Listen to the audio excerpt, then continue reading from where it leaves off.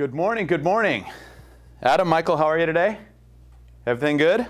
Living the dream. I just want to let everyone know that uh, Chuck Whitehead is filling in for Jenny Waters today. So. There's no Jenny today. She's actually on vacation, and you know what? She's allowed to have fun once in a while. So I'm okay with that. I'm okay with that.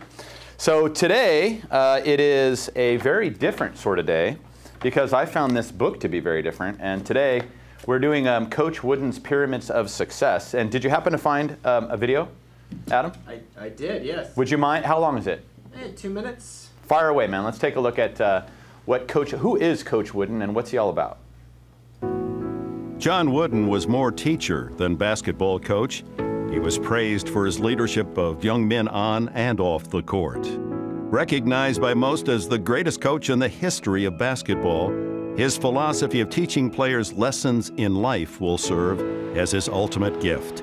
His message, simple success is striving to be the very best you can be. It's what you learn after you know it all that counts. Hoosier born, Wooden naturally gravitated to the game of basketball. His Martinsville High School team won the Indiana State Championship. He was an academic star at Purdue while leading his college team to the 1932 Collegiate Championship.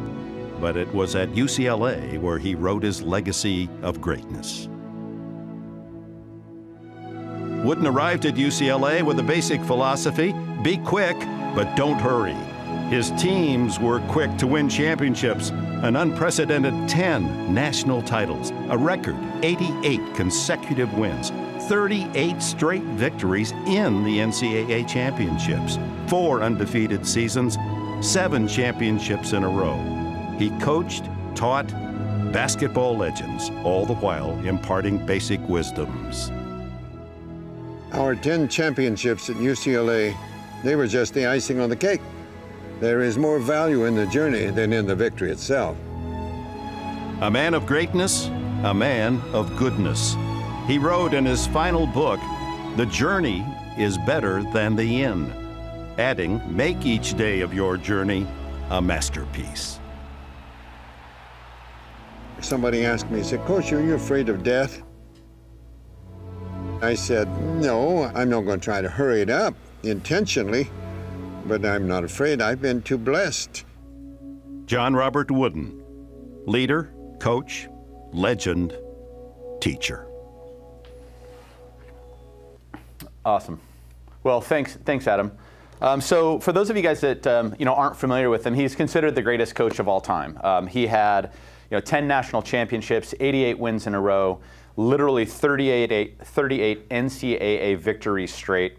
Um, and again, I'm not, I mean, I love basketball. I'm not like the biggest basketball fan in the world, but I will tell you that he had something special in his mindset, and he had something special in the mindset that he instilled into his players. And um, so, like, like it said, he was born in Indiana, and he started out as a teacher.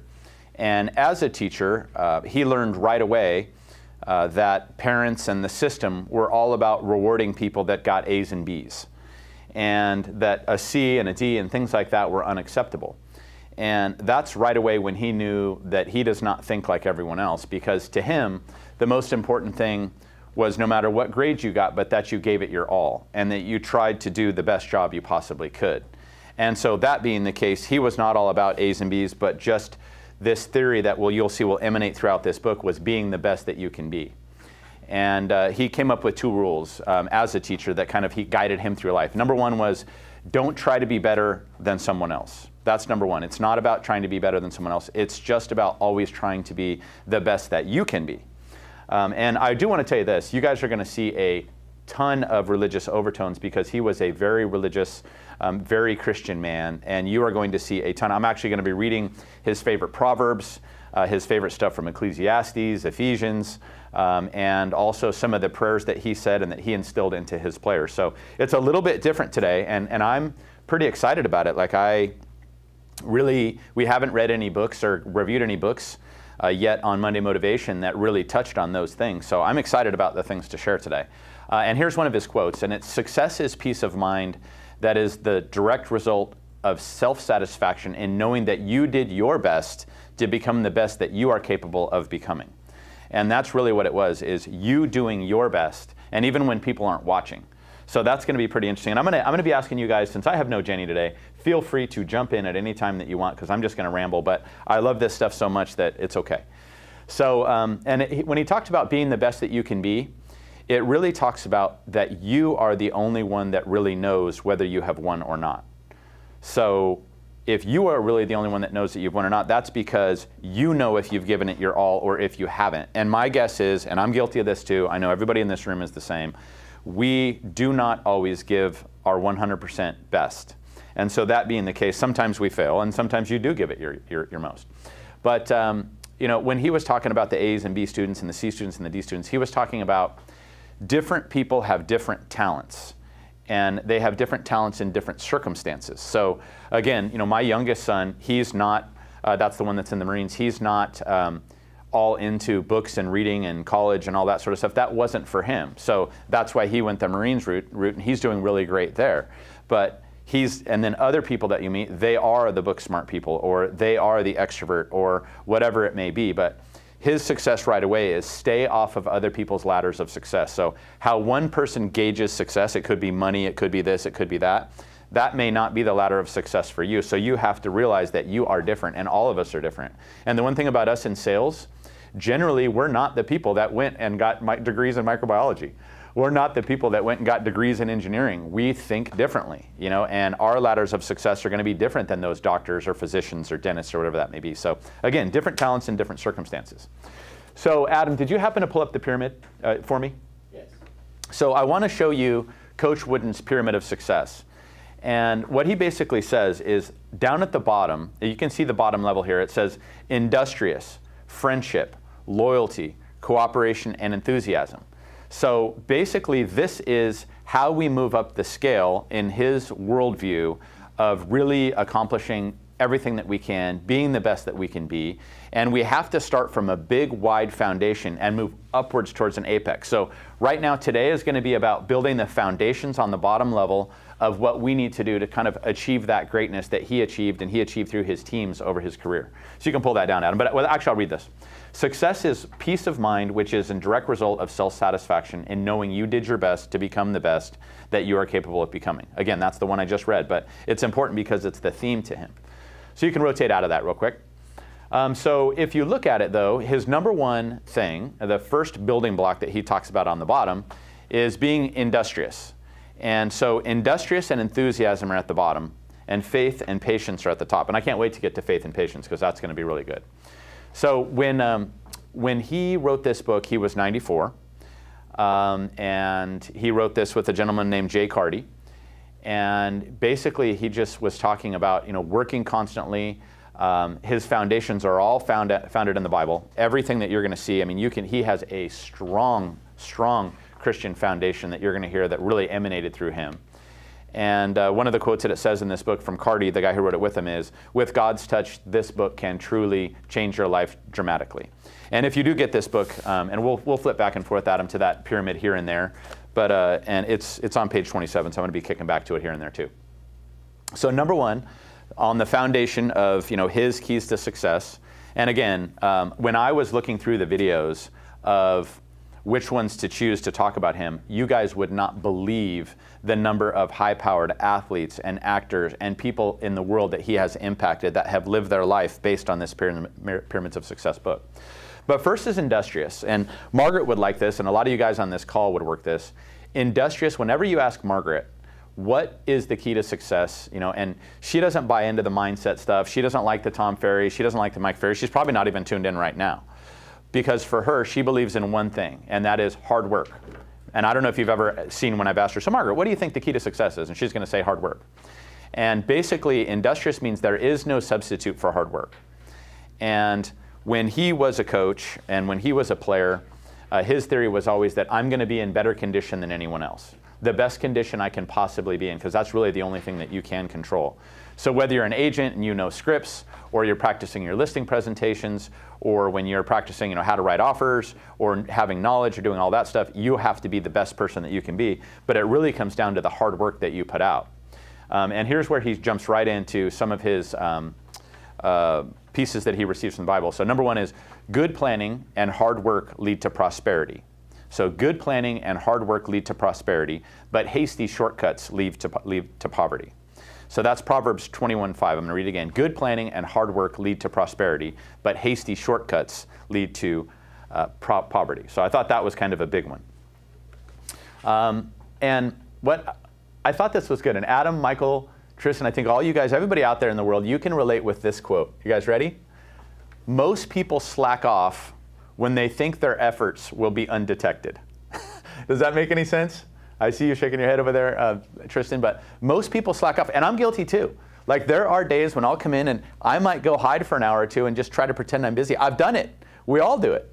Most people slack off when they think their effort will be undetected. But here's the thing that he says about that, Adam. God sees us every minute of the day. What we do and how hard we work is our gift to him.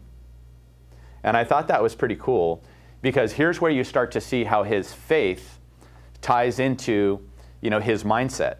And basically, he believes, and he believed and, and instilled into his players that, you know, that God and doing the Lord's work is integral into what you do. So you owe it to him to be the best real estate agent you can be, to be the best, you know, parent you can be, to be the best friend you can be. Because when you're slacking off or when you're not living up to your full potential, you're not fulfilling Coach Wooden's line, which is God sees us every minute of the day. What we do and how hard we work is our gift to Him.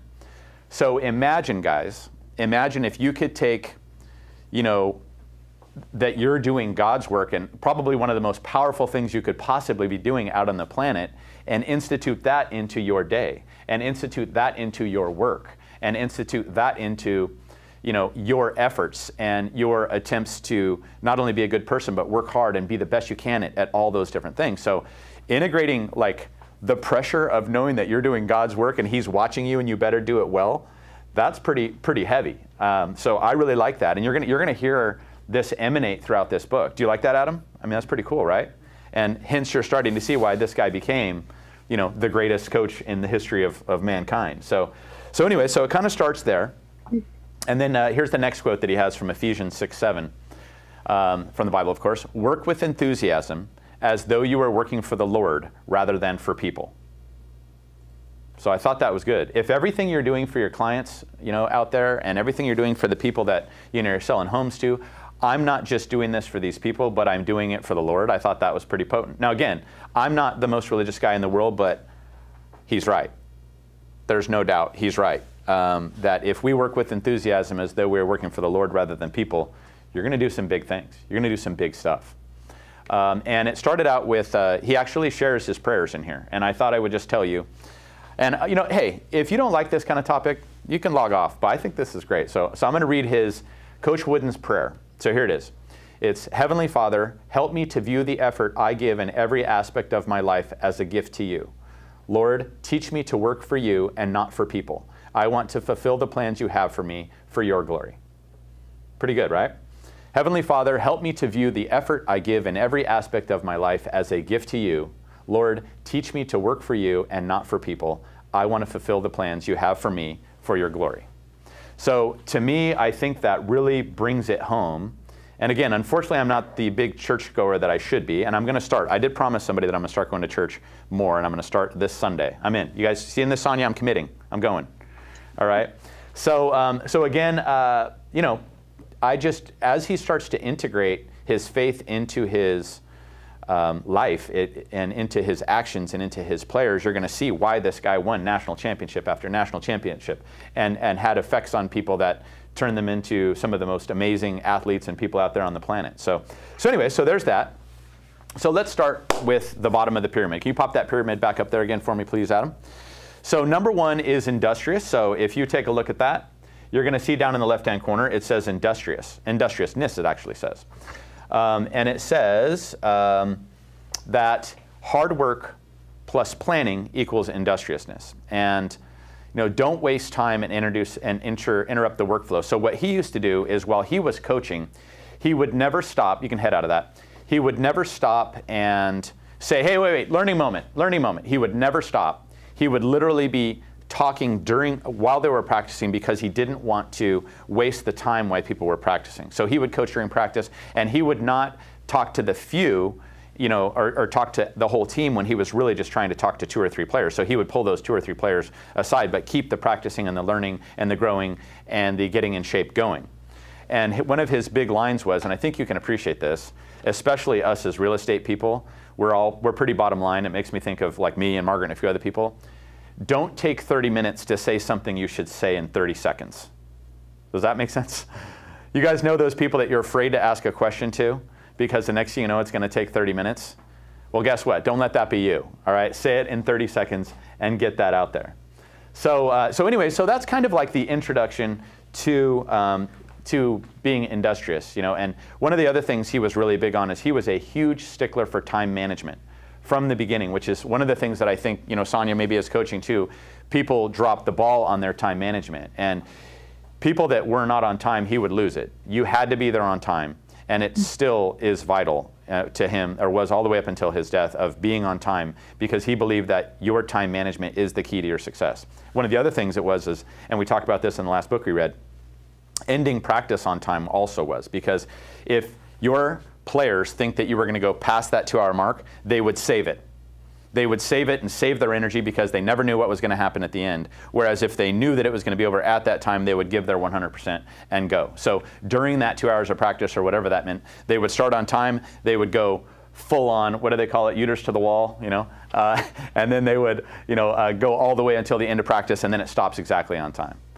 So, uh, so, so Sonia, what do you think of this topic so far and, and kind of the point of view that, that Wooden has so far? I'm only a few pages in, by the way.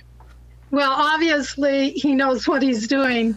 it was interesting how you talk about time management and doing it right the first time. And I was reading some of his quotes, and one of them was If you don't have time to do it right, when will you have time to do it over?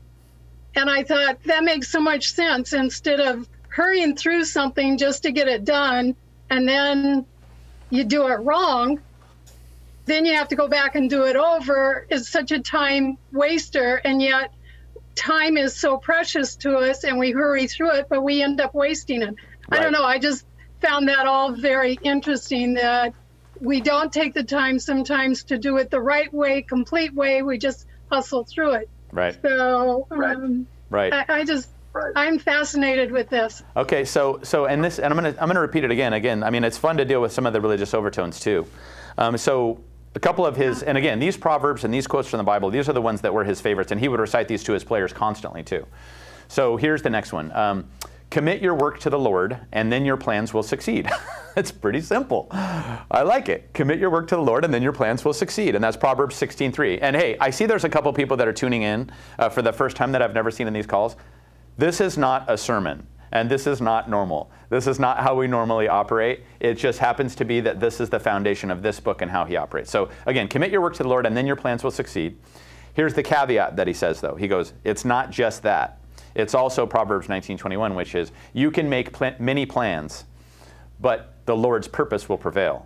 So if he believes that his work, winning national championships, making good people, getting everyone to do the best that they can be, going 88 game straights with wind, winning 38 national or NCAA you know, tournament games in a row.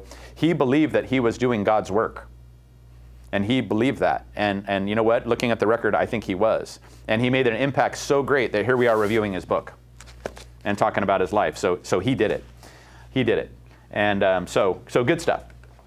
Um, next, the next one uh, down at the bottom there, Adam, if you could pop that that pyramid back up. So we talked a little bit about obviously industrious. Uh, the next piece I want to talk about is enthusiasm over on the far right corner. Enthusiasm.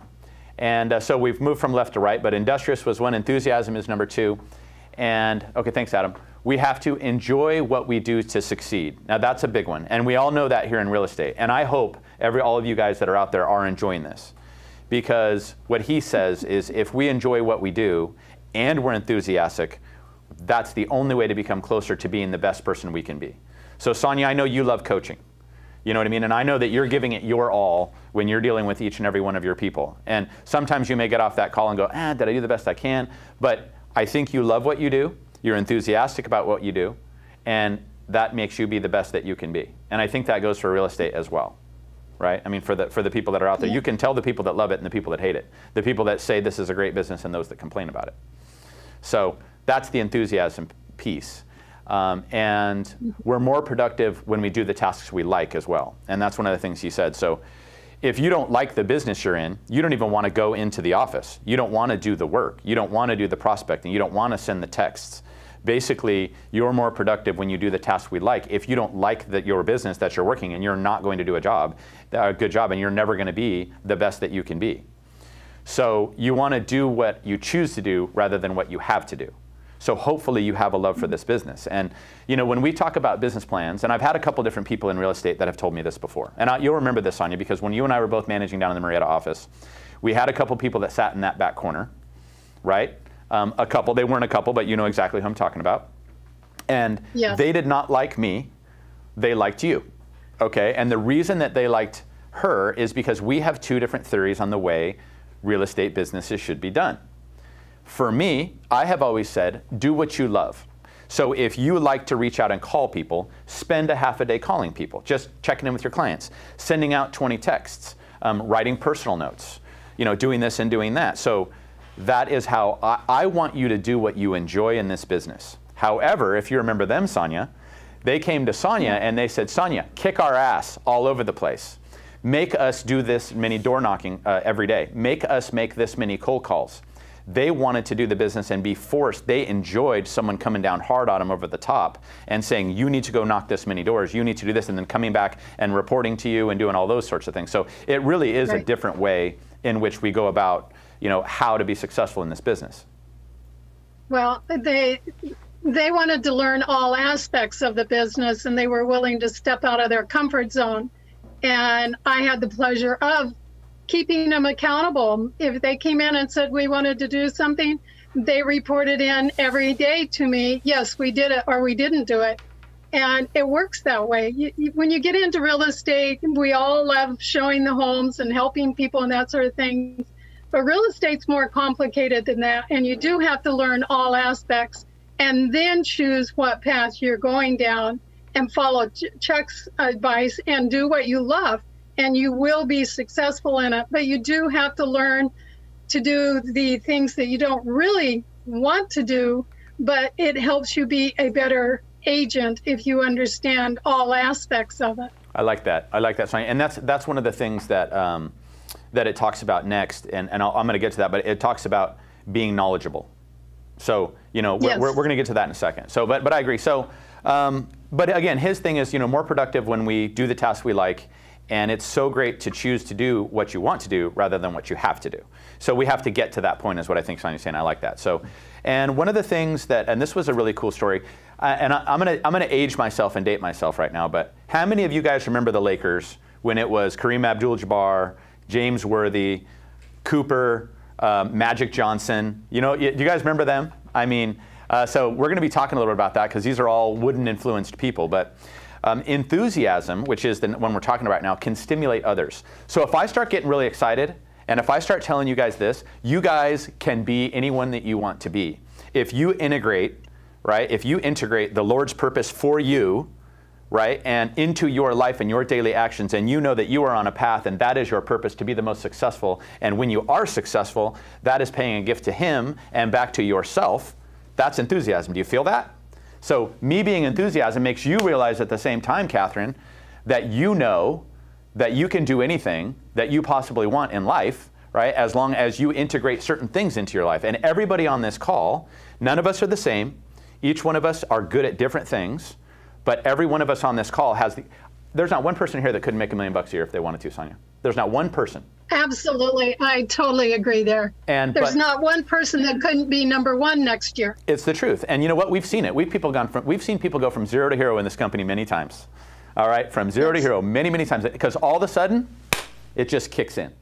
And then they get it and boom, they're off to the races, right? And they're making the big bucks. But that what I'm doing right now and what I was showing you guys is enthusiasm. So the enthusiasm that I'm showing you, you guys also have to take out into the world with you too. So in moderation, um, one of the things he says, Sonia, is extreme highs do not work. I thought that was interesting. So you can't get super fired up and da, da, da, and do this and do that because it's kind of like the fast tortoise, like we always talk about. If you get super high, then you're going to get super low. And too much emotion, in his view, can be counterproductive. So you always have to keep kind of a certain level of enthusiasm in moderation because those extremes will knock you out. Um, Right. uh, highs lead to lows. So um, Yeah.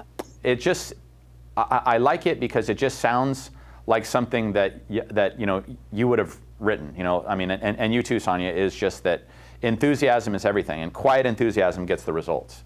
Um, here's one of the Well- other, what the things. Yes. I was just going to add there's oftentimes we have people who come in and, and we're coaching them and they're doing everything they're supposed to do, but they're not getting the same results. That we have the person that comes in who is excited about the business, who's enthusiastic and wants to make it wants to make it help. People read that. If you come in and you act it or you're faking the high, then they read right through you and they they go right past you so Right. it's really important to to understand that Right, right. Now, now, so, so understanding, you know, the, the integration that you're doing, you know, the Lord's work, which is His theories, right? Uh, in in your and that you have a responsibility to Him to really kick ass and take names, be the best you can be, right? And I'm, you know, uh, here's his Romans quote, and this is another one. Again, these are constant things that he was reading to his players, constant things that he was reinforcing in all of, you know, uh, Kareem Abdul-Jabbar and all these guys' minds. So this is from Romans 12:11. Never be lazy in your work but serve the Lord enthusiastically. So there's your enthusiasm, serving, not being lazy. And again, if your work is the Lord's work, so being the best realtor you can be and you know being being the best that you can for your family and all those sorts of things, then you know never be lazy in your work and serve enthusiastically. Um, and so here's here's an example that um, that he gave, and there's lots of examples. But Kareem Abdul-Jabbar, um, for those of you guys that remember the Lakers, and the Lakers, man, that was just the most amazing time. I mean, and I was so young, and I know a lot of you guys weren't even born yet, but it was crazy. I never even liked basketball. But when you get these crazy guys like Kareem Abdul-Jabbar and Magic Johnson, and these people that just they didn't just light up basketball, they lit up the world. I mean, if you guys were part of that, and you remember that, Elizabeth, I know you probably remember that. I mean, they lit it up. Um, and so Kareem Abdul-Jabbar was in the process of winding down his career with the Lakers. And um, he was, uh, you know, kind of like getting ready to retire in the next year or so. And then all of a sudden, this new player joins the team. And the player is Magic Johnson. And so Magic jo- Johnson joins the team. It's early on in the season after Magic joins. And, uh, and I, I think Kareem Abdul-Jabbar did his classic hook and sunk it with like one second to go. And Magic Johnson just loses his shit. He's running around the court. He's jumping up on everybody. He's screaming. He's high fiving. He's got his legs wrapped around Kareem and all this different stuff. Just absolutely going insane with the win early on in the season that really didn't mean much of anything. And so Kareem pulls Magic aside and he says, Hey, it's going to be a long season, Magic. We just need to calm it down right now. Okay, you need to just take it down. This is only like game two. Relax. All right. And then the next week, Worthy makes one. James Worthy does it. Guess what? Magic Johnson loses his shit. He's running around. He's like running like an airplane across the back and forth, all around the court, hugging people, high fiving them, holding them. And all of a sudden, Cooper starts going crazy. All of a sudden, Kareem's starting to get all into it. Everybody's just going nuts, right? Because Magic is just bringing up the enthusiasm. And so, uh, as all these guys start going crazy, Kareem says that was the beginning, and that's when Showtime was born. And if you guys remember the Lakers, that was called Showtime. And those guys just blew it up and became some of the most amazing figures, you know, pretty much on the planet. Now, again, am I a big basketball fan? No, but I was back then watching those guys. So that's when Showtime was born. It was it was the enthusiasm, you know, Sonia. I mean, what if you could do that at your house when when your kid got an A on a paper? You know, what if you could do that when your husband got a bonus, when your wife got a bonus? You know, what if you could bring some of that enthusiasm, you know, home when like, dude, my kid just hit a home run, you know, or whatever, you got a single and you're just running around the field doing the airplane. it might become it might become a little bit, you know, contagious. So so that was Showtime being born. And you know, Kareem said, you know, I felt like a kid again. He said, um, and that's what spurred the and he stayed for like another 10 years because they just kept winning championship after championship after championship because he felt that enthusiasm and he brought that to the team so if you could bring that to your clients if you could bring that to your family if you could bring that to Coldwell Banker if you could bring that to everybody around you it's just going to be contagious and people are going to be drawn to it so, uh, and then um, Wooden starts talking about an example of that in his own mind. And uh, his name was Apollo, and he was a, a, a preacher in the Bible. And he had just come into town, and there was a couple that were, you know, a, a, very, very devout, very knowledgeable couple, and I'm not sure where it was in Israel, but um, and so Apollo uh, had had amazing skills to, to to stand up in front of people and to influence and to be enthusiasm. But he spent. This is what we're getting back to, Sonia. He spent a year with this couple, immersing himself and learning everything there was to know about what it means to be a good Christian, and what it means to know the stories, and what it means to understand the parables, and what it means to, you know, so he became a student of the game, as you were talking about in real estate, Sonia, of the people that are learning all aspects, whether it's door knocking, whether it's, you know, uh, some of the technology tools, whether it's scripts, whatever it may be. So you can be really, really enthusiastic, but if you don't know what you're doing, that could end up being a problem, right? So Apollo came in, became an expert, and his compassion, uh, sorry, his, his passion and his knowledge are what made him great. So if you have a knowledge of the business and the enthusiasm, you're going to be a potent figure. You're going to be a successful person. You're going to do it. So his passion set him apart. But also, Sonia, I thought this was important, and this is one of the things that Coach Wooden stressed. Also, your humility staying humble at the same time. So, knowledge, enthusiasm, and staying humble. Because that's one of the things that he had to deal with because he saw his players become great, become world figures, become some of the most famous people ever. So he had to warn them that you have to stay humble as well. So you have to have the knowledge to get it right. So I thought I would read one of his next prayers. All right, here's one of his next prayers. Um, Almighty, uh, here's what he says Almighty God of excitement and passion, to serve you with my whole heart and every fiber of my being. Give me passion, uh, give me a passion for your son that will rub off on all you place in my path, and the knowledge and understanding to be firm in my faith. Father, I want to become all that I can to become your enthusiastic representative. So he took, you know, everything that he learned, and he brought in, you know, his faith into his life. You know, and I have to be honest, like, it has always made me nervous to talk about this topic. It's always made me nervous to talk about faith. It's always made me nervous to talk about these things. And I don't know why. It's something in society, I think, that that makes us nervous to talk about these things. I don't know why if you think you're going to be judged or people are going to think you're a crazy Bible thumper or whatever it may be, but let me tell you, Wooden wasn't afraid. Wooden owned it and he rocked it and he went after it and he didn't care. And you know what? He's an example of somebody that created something so amazingly great that is probably more than all of us putting our lives together. So so the fact that he, he integrated his faith into his life and he wasn't afraid to talk about it is huge. And uh, it's one of the things that I'm learning from this book too, because you know what? Um, I've had a good ride and I've had somebody in my corner and I don't talk about it or acknowledge it enough. So, I mean, it's pretty cool. Am I getting too thumpy over here, Adam? No. All right, good. All right, so, um, and by the way, if anybody wants to jump in, feel free. And if anybody wants to talk about faith as part of this, feel free. Um, and, you know, there was a couple of you guys that I was thinking about when I was um, writing all this stuff out. You know, uh, and Duffy, you're not shy, buddy. You've always been willing to talk about this stuff. You, anything you want to add? I just unmuted to.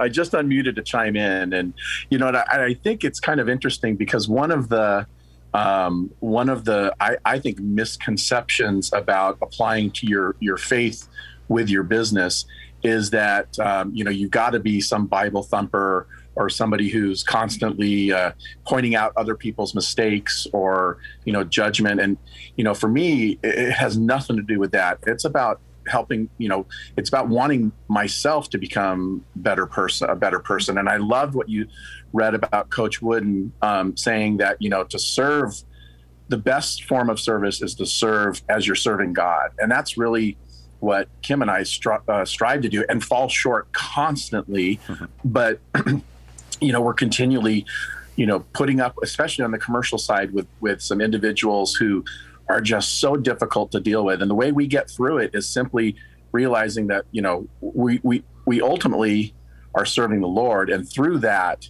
it's it's the service that shows up to our clients. So I like that. Um, the other thing that I've loved so far, what you talked about was, you know, one I love Steve Gaines, and one of the only challenges I had with him is when he said so many top producers they have this jealousy, uh, you know, of other people, and that's the only thing probably I would disagree with Steve, because for for me, and I, I know you and Jenny talked about this in a, in a prior segment, was I, I've always taught my kids, you know, comparison is the root of all unhappiness.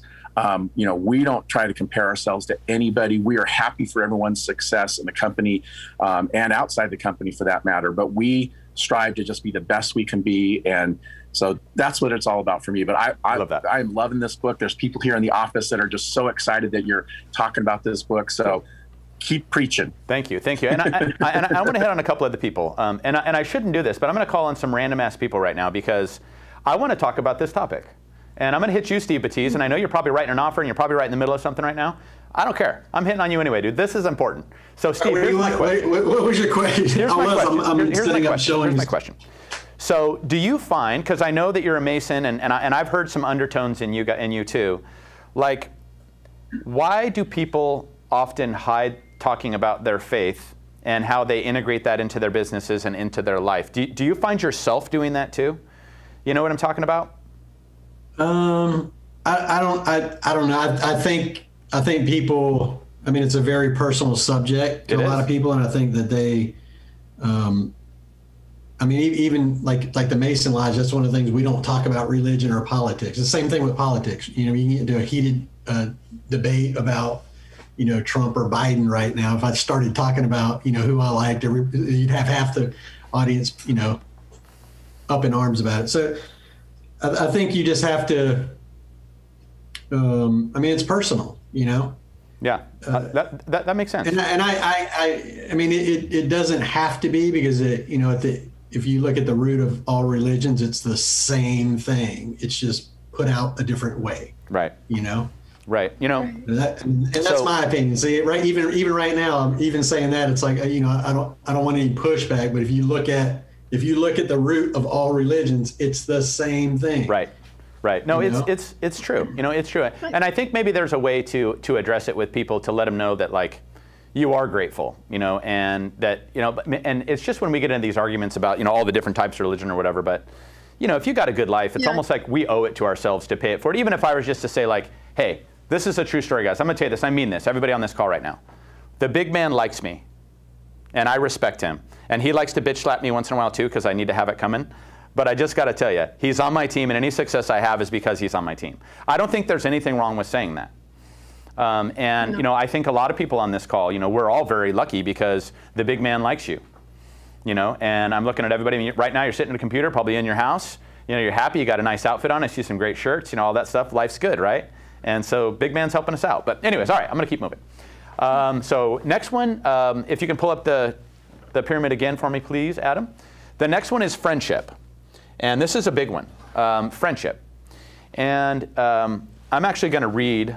Uh, and I'm sorry, guys, because I know it's it's annoying when people read these, but I have some really great friends, and there's a few of them on this call that have been just great friends throughout my life, and he has a particular poem to talk about the power of friends and the power of friendship. And I'm sorry, it's a little long, but I'm going to read it anyway because I think it's that great. All right? Friendship.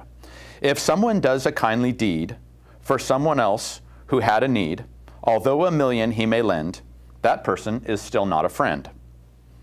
If someone sees your heavy load and bears your burden down the road, though hills and mountains you ascend, that person is still not a friend. Friendship is a fine, fine art where each has helped the other's heart, and loyalty has helped both know we make it build and shape and grow. There's shared respect, just like a team, devotion, love, regard, esteem. It will take time, but on the course, a friendship pulls a powerful course. A force so strong that when it's done, it turns the two into a one. And one plus one's no longer true when two become much more than two. So basically, he talked about, you know, and, and forging friendships in your business. And for him, he was forging friendships in his teams. But I have to tell you guys, you know, you never want to neglect your friends. And if you have friends that call you once in a while or check on you once in a while, you owe it to them to take that phone call. You owe it to them to reach out to them. And you know, I've had some amazing friends over the last few years that have helped me out a lot. And I tell them this, and I will never forget it. This is one of my life lessons learned. They were there for me, and I will be there for them. And you know who those people are if the shit hits the fans who are there. And there are some people that are fair weather friends that will disappear, but when times get tough, you will find out who they are. Because there are lots of fair weather friends. So cherish those people. Cherish those people. And that's why I had to read that poem. And to Wooden, friendship is like a good marriage. It's based on mutual concern. Friends help each other, they don't use each other. Um, so really, that's friendship is one of the foundations of his success. So he says, make friends and maintain friendships as much as you can. Friends help to complete us, and will be better for having taken them along on our journey to become all that we are capable of becoming. If you have the right friends in your corner, if I'm one of your friends, you better believe I'm going to push you to be the best you can be. You better believe that. And if you're not, I'm going to give you shit for not doing it as well. So that's really what it comes down to. Who are those people that lift you up and that make you better? You know what I mean, Catherine? You know who they are. You're thinking about them. And then there's some friends that are kind of like, they're there and then they disappear and then they're there and then they disappear. It depends on if it's a fun time or whatever. But who's there checking on you and who loves you? And make as many of those friends as you can because I've realized, and you know, and this is you guys know, and this is part of Wooden's whole theory. It's not about money. Life is not about money. That's one thing I have learned. Life is about the relationships that you have. Who cares about you? Who do you care about? And that's his whole point here is that, you know, to him, it's not about the wins. And, and he said, and, and this is our theory here at this company too, is if you make better people, then success will come. So you, you can't just be all about the money. You can't just be about chasing after that commission, chasing after that commission breath. You have to be a good, well-rounded person for success to come to you. And you can't take the money with you, right? Didn't, uh, what was it, um, Denzel Washington, you know, you'll never see a U-Haul behind a hearse. you can't take it with you. You know what I mean? You, you can't, you'll never see a U-Haul behind a hearse. So that being the case, you know, all you can really take is our friendships, right, Duffy? I mean, right? I mean, going out and playing golf and having our good times, you know, Steve Batiste, good guy, you know, Isabel swinging by to say hi, you know, all those sorts of things, Amelia. It's this. This is the good stuff. This is what you take with you, not the money. Anyways, I'm getting all preachy. All right. So, uh, like I said, friends help to complete us and we'll be better for having taken them along on our journey to become all that we are capable of becoming. Um, this is cool, son. You ready? A person standing alone can be attacked and defeated, but two can stand back to back and conquer, right? And I think that's when it comes down to your relationship with your other person, you know, when it comes down to your friends, whatever it may be, a person standing alone can be attacked and defeated, but two can stand back to back and conquer. Here's the good one. Ready? Three, or even uh, are even better. You know, for a triple braided cord, you know the triple braided cords, they're not easily broken. Those are made for a reason. And that's Ecclesiastes 4:12. And these are all his lines. So how about five, which is what he's trying to get to to basketball? But you know, I, I, but I thought that was good. And, and when you are standing alone, uh, it is tough. It is tough, and that's why yeah. that person, that friend, that um, you know, that favorite person, that you know, that person, if you know what I'm talking about, is is everything. So, yeah. uh, anyways, so that's that one. Anything to add? Chuck. Yes. Yeah, I was just going to tell you when we lived in Alaska, the biggest fear there is hiking because of the bears. I mean, we had more bears on the island than we did humans. Um, but what was noted was if you go hiking with three or more people, you've never been attacked. No one's ever been attacked. It's when you're with one, when you're by yourself, you can be attacked by a bear. If you're with two, you better make yourselves look pretty darn big before um, he'll turn around and run. But three or more, the bear will always turn around and leave you. So if you go hiking, same thing. Make sure you got two friends with you. You feel the metaphor to, to life? What's the yeah. bear? The bear's the ass kicker that's coming after you if you're not careful. and it's and it's coming. Absolutely. It happens. Oh, so, they come. I mean, they look at you. We were on the trail with the bears, and we always had three or more. When there's three so of you, like, what now? that fear out there. Yeah. yeah. Sorry, I just thought that was fun. I love it. I love it. Uh, hey, Adam, can you throw the pyramid back up? So uh, the next one is cooperation. Um, so again, so we've hit industriousness, we've hit enthusiasm, we've hit friendship, and now we're hitting cooperation. And cooperation is very simple, and especially in the business world and in this room right now, um, cooperation is working with others for the benefit of all. That's all it is. And his theory was that gentleness is a better method of getting cooperation than harshness. So he, he was always the, what do they call that? The, the carrot or the stick? You know, I mean, he was always real gentle in the way that he coached, and he was not a yeller, and he did not get angry. He, he believed in gentleness to create cooperation. Number two is, of course, a team can accomplish much more when it works together than individuals alone. And I think that applies to real estate, of course. Having a good lender, having somebody that covers your stuff when you go out of town, having a good broker, having um, somebody, you know, your, your home warranty rep that's there for you, having a good escrow company you're working with, having title. You couldn't do this alone. You have to have your team. And hopefully, you know, when you guys are presenting your listings and all that sort of stuff, you feel like you have a good, solid team of cooperation, which is why we promote using Point and using LaRue and all that stuff because we know that team is potent and powerful and can help you get where you need to get. So cooperation is a big one, Sonia. Um, and you know, when yeah. he talks about teamwork and cooperation, go ahead. Do you want to add something? No, I was Oh. just going to say many times the newer agents or the people who just come into the company don't feel they have a team, they don't have enough knowledge about the business. And I always say you have a huge team. You've got Coldwell Banker, ABR behind you. Remember, there's always somebody there to support you. The team that we've formed here in this company is amazing, and no new agent should feel like they're alone or they don't know enough But- because of the team atmosphere But we you got have here. you got to you got to uh, you got to engage though, guys. I mean, if you're feeling like you're on an island or whatever, you have to reach out to your manager. You have to reach out to you know Courtney and Menifee. You have to reach out to Margaret here. You can reach out to me. You know, I mean, just by getting Sonia on your you know uh, coaching through her, you're a part of the team automatically. There's your mentors, your your Teresa's. You know, I mean, everybody out there. We, there's the team, but you have to engage it. But when he was talking about you know cooperation, he referred to his first national championship team in 1964, and it was UCLA versus Duke. All right, it was UCLA versus Duke. Duke had two players that were 6'10, and the tallest player on UCLA's team was 6'5. And if you know basketball, five inches is a big deal, right? So, um, and he, he said that this was one of the things that really set the tone for him for the rest of his life. There was a European reporter that he was standing near as they were talking about the upcoming national championship between UCLA and Duke. And here's what the European reporter said. And he said, I'll never forget it. UCLA will win this game regardless of the height or who's better because they are a team. End of story. The teamwork and who you work with and being part of whoever you are with and whoever, you know, and I think that goes for your relationships. I think that goes with your friends. I think that goes for your mentors. I think that goes for your managers. UCLA will win because they are a team. And even though they were not, and they went on to win, even though they, they did not have the talent, they did not have the height, but that teamwork made the dream work for him. So again, and this is a little bit different, right? Because we're a lot of individuals out there, but you're not. You're part of a team. You've got Vicky Carpenter out there with, you know, teaching you everything that she possibly can. You've got your mentors. You got everybody. So, uh, however, Sonia, you feel the encouragement, Amelia? Good. Each person must do their job, and you must trust. And this is, this was his theory in basketball.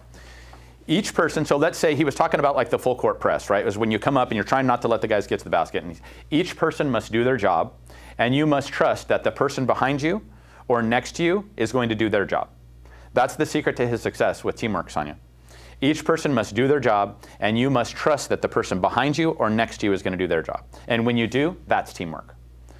And uh, he, he also was talking about, you know, remember when we were going back to how everyone has different talents, Sonia? You know, and not everyone is the same. We know that, right? If you know basketball, a guard, the guy who comes down the court, is very different than the center, the guy who's down getting the rebounds. They, they do not have the same skill set at all. So, um, what, what he referred to, and he started, you know, taking the religious overtone again, also with this teamwork and all that sort of stuff. He said the problem occurs on a team, you know, the same as it does with life, which is when a member of the body of Christ, which he considers everybody who is Christian, doesn't use his or her gifts. So if you're not fully using your gifts and being the best person you can be with that gift, that's when the breakdown happens, and you're going to break down not only yourself but the entire team. So you have to use those gifts. So okay, Oh, that, Go ahead. I so agree with that. I see that in so many ways in different lives. You you go into a profession and you want to learn it. You have a gift. And that's what I look for in coaching. Where is your gift? Where are your strong parts? And let's build on those because once we build on those, the sky's the limit. You, you can just you, you just take off with enthusiasm. You love what you're doing because you're doing what you were made to do. You're you're fulfilling your personal needs by helping others in so many ways. It's such a win-win situation. Um, it goes. I, I just totally believe it. It, it, it goes back to what Oprah said that she said that the you know the the ultimate success comes from when you use the gifts God gave you. You know, and, and I think that and, and I don't know, I mean, maybe I'm a narcissist, but I feel like I know what some of my gifts are, and I feel like most of you guys out there know what your gifts are. I mean, is that true? Do you guys have a pretty good idea of what your gifts are? Catherine, I see you shaking your head. I mean, you don't, Isabel. No. All right. Well, we're gonna have Yeah, to I, I think, we're gonna have to figure that yeah, out. I, I think, yeah. Guy, do you know what There's yours are? There's a lot of people have no clue. yeah. Yeah. You're muted, guy. But but I mean, the the big question is like, do you know what yours are? And I- I'd be curious if some people could share it. Guy, what what are your gifts, man? Well, I was back east for 10 days, so I'm great at eating pizza and pasta. Not quite sure Can that's what the big man has in store for you, but go ahead, Can, we, can I talk to you about teamwork? please. I, I had to go back east for like 10 days. My mom's 91. She's not doing great. So we had to do some affairs. And I had uh, Divine Intervention. I had two listings. And uh, we had uh, Teresa step it up. We're co listing. Talk about peace of mind to have somebody at Coldwell like a Teresa, that level, uh, help. And more than help, she actually took charge. And she's, uh, that's really what it's all about It's teamwork. I love it. I So- love it. Good stuff. Yeah. Good stuff. Thank you. Um, thanks for sharing that. Okay, so we're going to go back to the pyramid real quick because we got about 10 minutes for, or five minutes before we get out of here. But um, I wanted to get to the last piece, Sonia, which is loyalty. So if you look at this, you're going to see that now we've hit on industriousness, enthusiasm, friendship, cooperation, and now the last one is loyalty. And loyalty is big. And loyalty comes into play when we add concepts such as devotion and duty and faithfulness and commitment. Um, loyalty is the foundational quality, too, that gets us through hard times, and that's what he talked about. Um, and this is where he started talking about you're going to have some levels of success. And when you do, you will see, and even in this company, guys, you're going to see people that you knew, that you know, go on to make four, five, six, seven hundred, up to a million bucks. And then there's a good chance you may see them change. You may see them change when they start making that kind of money. And his question was, and remember, he's seen all these people rise and rise and rise, right, Sonia? Because he went from, you know, Kareem Abdul-Jabbar was one of his players, and then he becomes one of the greatest centers in the history of mankind, right? So, he's when he's talking about loyalty, he's saying when you start having success, will you compromise your integrity when temptation is great? That's really what he's saying loyalty is. Loyalty is remaining loyal to your beliefs and core values even when that success comes. And so that's how he's talking about loyalty is as life changes and as you, you know, when nobody's watching and all those sorts of things, how are you acting and reacting? And that's what loyalty means, you know. And I think a lot of us are guilty sometimes of, you know, hitting, getting hit with that temptation when things start going well, and then it can be costly. You know, it can. Trust me. So, you know, when you start, you know, feeling like you're special, and I think that comes back to the humility. And, um, you know, I think Brenda, you know, who's on the call, I think, and a lot of people, we've seen people hit success and their loyalty and their beliefs and their core values go right down the toilet. And so that's why he stresses and works so hard on making sure that that doesn't happen. That that doesn't happen. Um, Yeah. So he cautions I them. wrote down loyalty equals integrity. Correct. Yes. I, I think those two go hand in hand in so many ways. Right, right. And and so he cautioned people when they become successful. He says, you know, don't compromise your character or show disloyalty to anyone either. So as you as you rise, make sure that you continue to, you know, stay loyal to everyone. And so here was his prayer regarding this one. And it said, "Oh God, offer you I offer you everything I have, including my devotion and loyalty, with all my heart. I want my loyalty to pass the tests and temptations that will be coming my way. Give me strength to stand firm." So, can I read that again? Oh God, I offer you everything I have, including my devotion and loyalty, with all my heart. I want my loyalty to pass the tests and temptations that will be coming my way. Give me strength to stand firm. I thought that was pretty legit. And again, these are not normally like this. Okay, this is just, the, and you know what? There's going to be a lot more of this coming, Sonia. He, he has a lot of religious overtones, and you know what? We need to hear it, and I like it, and I'm happy. And go ahead. You know, I mean, I need to hear this stuff. I love it. Um, so the bottom line is, you know, the summary, and the summary is that, you know, you can go back to that chart real quick for me, Adam, to the uh, sorry to the pyramid. Is that you know there are five foundations that we need to be thinking about, or that you know he says is the key to success, and that's industriousness, friendship, loyalty, cooperation, and enthusiasm. And next Monday we're going to be talking about alertness and self-control and initiative and all those sorts of things. But um, you know, basically, we need to be focusing there first. So, um, anyways, I think that's right where we're at as of this particular moment. Does anybody have any comments that they would like to add to this topic? Are you guys comfortable with this? If you're not, private message me, or you know what, tune out for the next week or two. But every once in a while, you need to hear it. You've got to hear it. We've all got to hear it. So, Any any comments from anybody before we check out on this? I just want to say we have a birthday girl on the call today. We have a birthday girl. Who is it? Brandy Leathers. Brandy Leathers. Happy birthday. Happy birthday, Brandy. Happy She's birthday. 30 years old today. Thank you. I'm so so happy for. Did you have a great weekend? Um, well, we're just going out to dinner tonight. We really didn't do anything over the weekend, so Well, that's okay. We've been you don't really have to dinner busy, tonight. Have like so. five cocktails, get out of hand, and enjoy yourself. You're allowed to do that.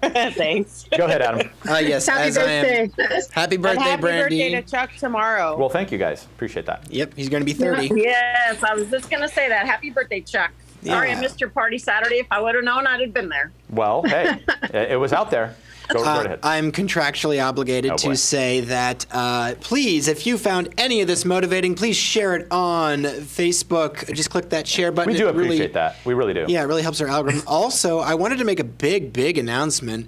Chuck Whitehead, the infamous Chuck Whitehead, is on TikTok. So if any of you guys like to stare at TikTok for hours, uh, go ahead and follow you, him there. He's he's doing motivational stuff on there. So uh, it's just at the Chuck Whitehead Show, and Cool. you can find him. Hey, and I expect you all to get on TikTok too. If I can do it, you can do it. Yeah, exactly. Anyways, all right, cool guys. Well, thank you very much for tuning in. Hopefully, you got something out of it. And uh, next week is going to be really, really great. This book just gets better and better as we move up to the top of the pyramid. So, thank you guys. Get out there, make it a great week. Thank Sonia, you. Sonia, thanks for helping out, and have a great week, guys. Absolutely. Take care. Bye. Bye bye.